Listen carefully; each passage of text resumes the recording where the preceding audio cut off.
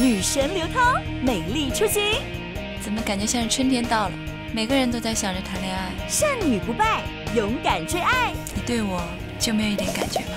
在彤彤完全好之前，我不考虑个人问题，对不起。二月十五日起，周一至周五每晚八点，未来综合台，爱情万万岁。